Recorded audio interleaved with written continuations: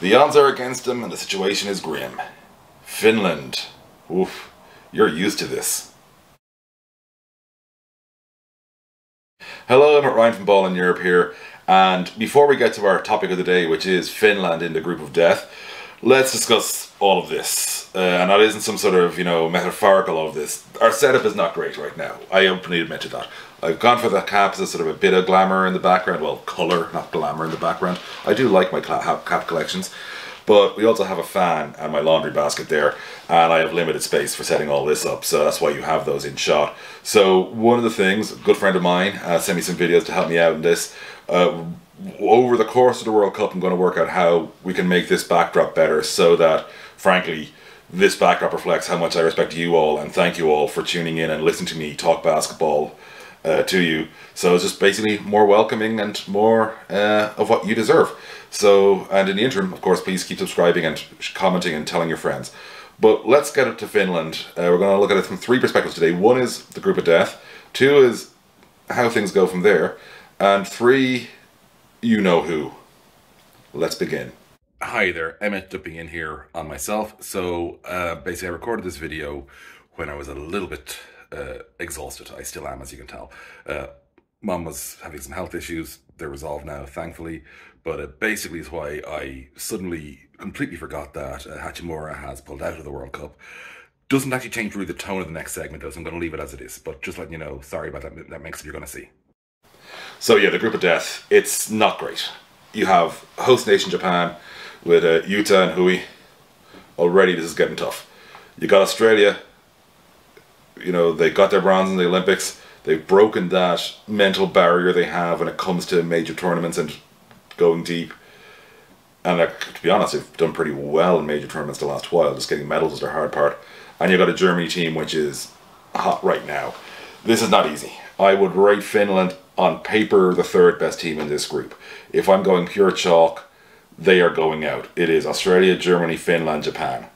And exactly because of what I just said, I think I could be extremely wrong because this is an international tournament and it's such a short format when you think about the first group, like only three group games. That really, really does mean that a single mistake, even by a big team, can be enormous in terms of the grand scheme of things. And when you're used to playing the underdog, that's not a bad position to be in. Finland obviously open against the Boomers. That's not going to be an easy one, don't get me wrong. But uh, also, won't be an easy one for Australia either. And when you've got the host nation in your group, it adds a little bit of oof to things because Japan, you've got to be thinking they're going to be going big in all three games. They've got a good side, like there's no doubting they've got talent. And I look at this group, and it's the only group in the whole of this World Cup, all eight groups, where I can say, hand on heart, and also just on the air, because does that really make a difference? But honestly, my genuine belief, any side can beat any side in this group on its day. Like, yes, on paper and in practice, some should go deeper, some, some should be better. But again, you got this sort of sprint format, which, you know, instead of a five game group where it's obviously still short enough, but that room for error, there was a bit of chance to break out and do something. For for three game group, I mean, one mistake by a big gun and things are totally flipped. And like you look at Germany, Australia, they're both teams who believe they can medal. Australia, frankly, I think believe they can win it. Um, I certainly haven't ruled them out. Um, Germany, I'm sure, believe they can come out of this tournament with a medal. And I kind of go, right, that's that's like some serious competition. Like Finland could have gotten much softer groups in this, no question. Even with their seeding, just to be clear, could have gotten a much softer group. They got the toughest possible group I think they could have landed here.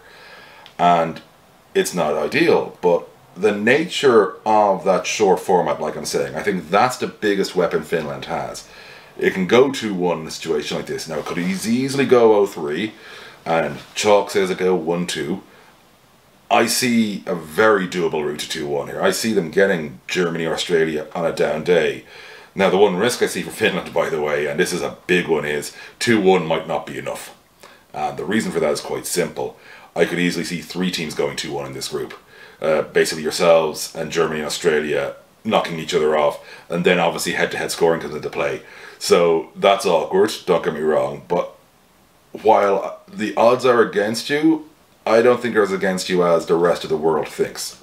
I think it is very plausible Finland emerges from this group, which would automatically, by the way, be its best performance in a World Cup, I believe, because I don't think they've. Well, it's only the second World Cup, and they did not get out of the group phase the last time, and so they would be in the last 16. So yeah, the last time being 2014, and uh, when I had quite a few beverages with the, uh, the fine Finns, and yeah, and that's when things kind of get interesting. So after the group phase, things kind of open up because one of the upsides, oddly, of being in a group of death is you suddenly haven't got it quite as hard the very next stage. Probably will need to be Slovenia, which not easy, but it will be a bit of a tired Slovenia. Remember, like Luka will be carrying a load for them. I've discussed that in a previous video, which may be getting linked to somewhere out here. Who knows? And they'll be a beatable Slovenia, like no question. Like again, you'll be underdogs, but since when is Finland, just in general, uh, but particularly in team sports at the uh, outside of hockey, really not used to being underdogs. And Finland, there's been enough times in hockey you've been underdogs too. Let's be honest, and you've punched through. Um, but um, yeah, so again, look at this, and I go plausible. And then you're kind of going Finland. If they can get out of the group of death, suddenly a route to a World Cup quarter final it's very doable. Now, the side of the draw for a quarter final is not nice. Um, like, I think I was looking at it, and like your options include potentially a route to Spain or Canada. I'd have to go back, and I'm a bit lazy in that front, but it's not a pleasant route, I know that. Certainly not ideal, but like, not implausible. Like, the point is, Finland's group of death ride could be a whole lot worse.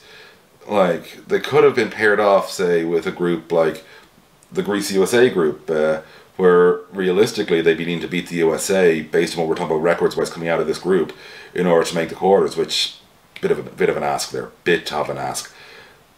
They've already had two medal contenders in the first group phase, first group phase, and that means I think they should have a bit softer if they can get out of it.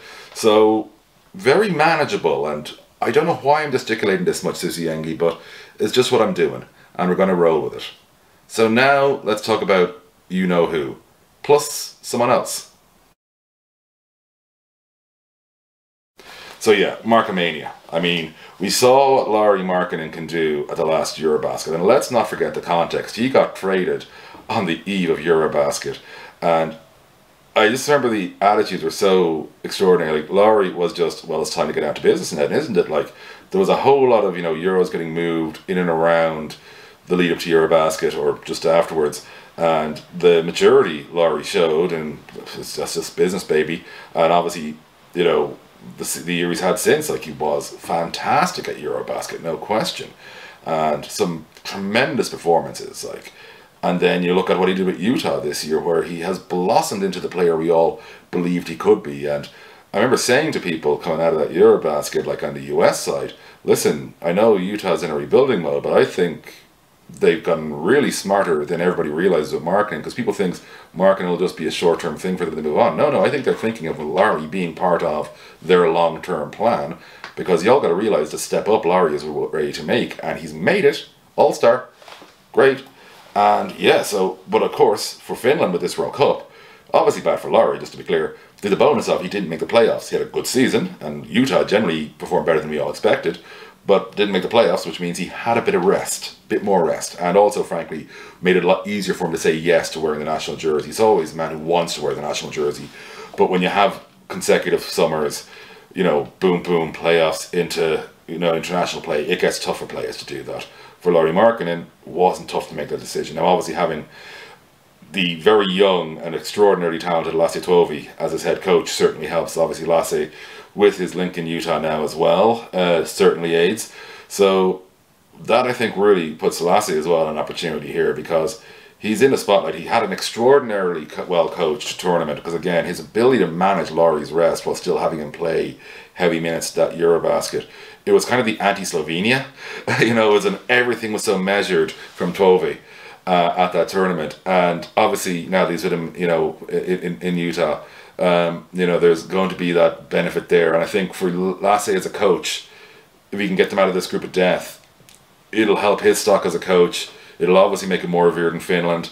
And I think he's at the mental place. He knows how to work around those assets that he has in order to do that. So there's an awful lot to like here, is what I'm trying to say politely. There's a really, really an awful lot to like here in terms of what Finland is doing and where they're going. Can they go very deep? Not likely, but at the same time, once you get to knockout play, things tend to get a bit crazy in international tournaments. And you've got one of the players who can take over a game at will. Are Finland capable of being that plucky underdog who does better than we all expect? It's Finland, yes. And they are more than Lauri Markkanen. He may be the star, he may be the superstar. He may be one of the best ballers alive right now. But even he knows that while he, the team rides and dies with him, it rides and dies with him, not just on him. As in, he's got to make those other guys around him more valuable, and he has, and he does. And while, you know, Petteri's retired, uh, you know, great dude, Petteri Koponen, by the way, always been a big fan. Uh, more because he's got the, you know, a man who was always aware of his age off the court, shall we say, and able to have that vibe of, oh, middle age, that's what sure isn't the basketball great. Uh, you know, so Sasu's obviously getting on in years and all that. But, like, you know, you look at this, this, this team, it's like, there's a lot of dudes who are young and hitting their prime and have the energy that Lauri will need around him for Finland to succeed yeah, I, I like this team a lot. I'm calling them to knock out of the group of death, but I would not be surprised in the slightest if I'm wrong. Does that sound like I'm hedging? Yes, it does. Group of death, but I'm going to go harsh and say they don't progress, but so that's my call. That's the one you can bully me over afterwards, Susijengi fans. But I really wouldn't be surprised if I'm wrong, and you don't get to give me any benefit for that for that qualifier. So that's thing. You get to punish me for saying I'm wrong. But listen, it's very manageable, very doable, and you wouldn't nothing that you do surprises me these days. We have other videos being linked here somewhere. Please subscribe if you haven't already. Really expect, expect the support, and uh, see you all at the World Cup.